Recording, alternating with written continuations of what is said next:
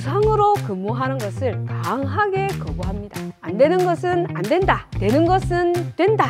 일을 통해 자기를 성장시키려는 생각이 무너지고 있습니다. 일이란 곧 나라는 공식이 무색하다는 것입니다. 아니, 이를 거부합니다.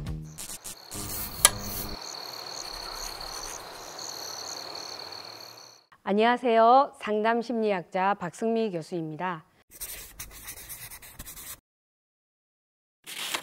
최근 우리 사회 이슈의 중심에 바로 2030 일명 MZ 세대가 있습니다. 자, 이들은 정치, 사회, 경제 모든 분야에서 자기 소리를 크게 내는 세대입니다. 특히 MZ 세대는 워라밸을 간절히 희구하고 있습니다. MZ 세대가 일자리를 선택할 때 10명 중 7명은 연봉보다 워라밸이 더 중요하다고 밝히고 있습니다.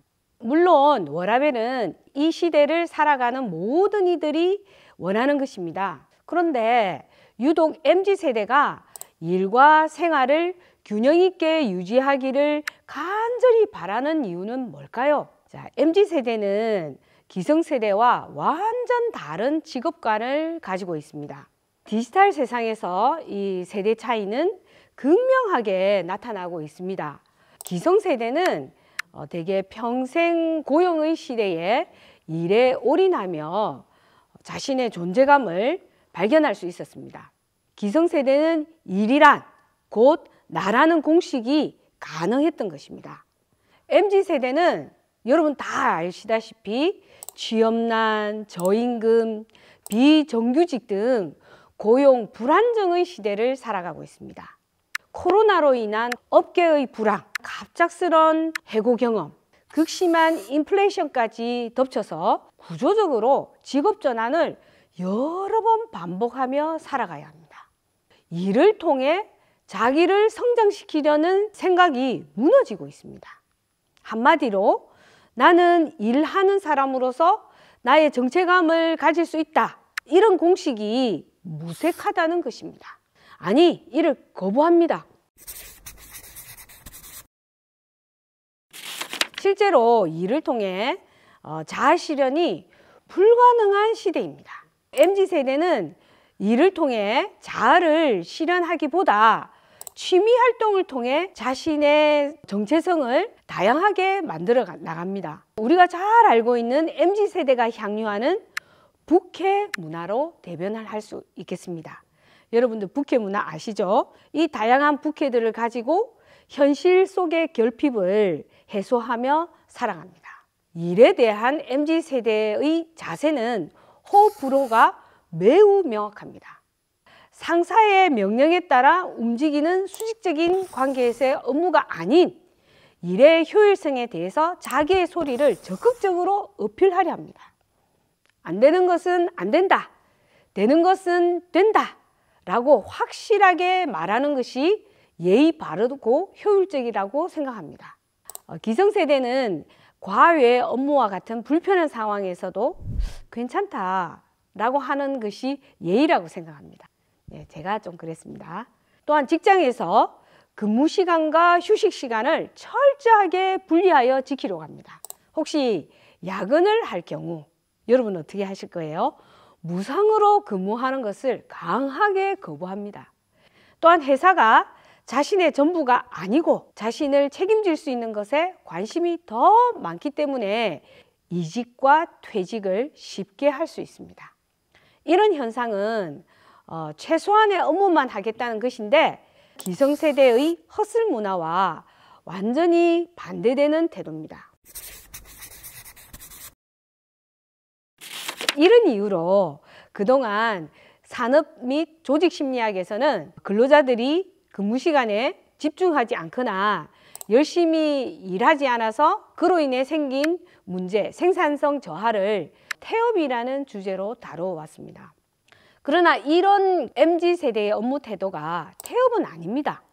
일하지 않거나 타인에게 피해를 주는 것이 아니라 자신에게 주어진 책임은 다하지만 그 이상의 과도한 업무를 하지 않는다는데 특징이 있습니다. 자, 우리나라 현실을 보면 내 일만 하려는 MZ 세대들을 욕할 수만은 없습니다. 현실이 워라벨과 가깝다고 생각하는 질문에 대해서 MZ 세대의 약 9.5%만이 그렇다라고 응답했습니다. 이는 아직도 워라벨을 갈망할 수밖에 없는 여건 속에 살아가고 있다는 것을 의미합니다.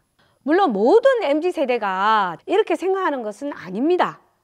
일자리를 선택할 때 10명 중 7명이 연봉보다는 워라벨을 더 중요하다고 했지만 3명은 연봉이 더 중요하다고 밝혔습니다. 이는 일에 더 집중해서 더 많이 벌고 싶은 사람도 있다는 것입니다.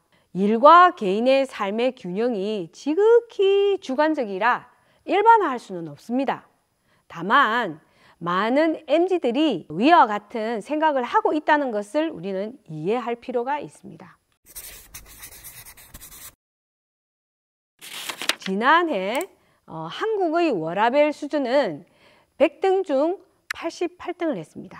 88등이라는 등위는 우리나라가 워라벨 수준을 더 끌어올리기 위해서 다각적인 노력이 필요하다는 것을 의미합니다. 워라벨 수준을 따질 때 근무 시간을 그 기준으로 자주 언급을 합니다.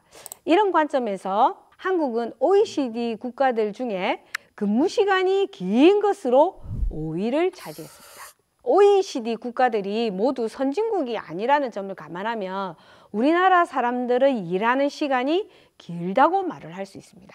이는 경제적 만족과 자아실현의 욕구가 해결되지 않는 환경에서 일의 강도만 여전히 강하다는 뜻입니다. 게다가 워라벨은 최저임금을 받는 저임금 근로자들이나 일용직 근로자들, 보통 긴 시간 가게를 열어두는 자영업자들에겐 사실 아무 의미 없는 개념일 수도 있습니다. 이런 경우 대부분 더 많이 일하더라도 더 경제적 이득을 원할 수 있습니다. 실제로 기업 문화와 관련된 연구들을 살펴보면 개인의 만족과 어, 직무 만족 간의 균형이 생산성을 높일 수 있음을 밝히고 있습니다. 그러므로 일을 하는 개인에게 워라벨은 만족감을 증대시키는 요소이기도 하지만 조직의 관점에서도 역시 생산성을 제고할 수 있는 중요한 요소이기도 합니다. 자, 이러한 이유로 일과 삶의 균형은 개인의 문제가 아니라 국가 정책의 궁극적 목표이기도 할 수 있는 중요한 의미를 갖습니다. 물론 그동안 이런 관점에서 근로기준법상 일과 생활 균형을 보완하기 위한 여러 가지 논의들이 됐습니다. 근로자의 재량적 근로시간을 보장한다거나 일자리 나누기를 통해 고용 활성화를 도모한다거나 연결 차단권을 통해 휴식권을 보장하는 이런 내용들이 자주 언급이 됐습니다. 아직 제도화되지도 않았고 더 구체적으로 논의해야 할 사항들이 많습니다. 반가운 소식은 새해 들어 기업들이 워라벨을 실현하기 위한 근무 시간 줄이기 등 혁신적인 제도들이 등장하고 있습니다. 아무쪼록 혁신적인 제도들이 잘 구현되어서 세대를 막론하고 워라벨을 실제감 있게 느꼈으면 좋겠습니다. 오늘의 주제는 여기까지입니다. 더 궁금한 점 있으면 댓글로 남겨주세요.